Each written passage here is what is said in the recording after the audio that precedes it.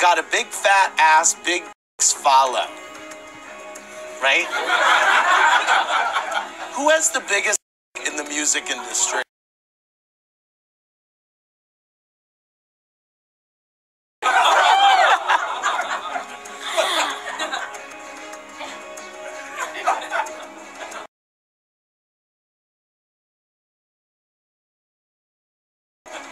I, I've never seen anybody's penis in the industry, actually.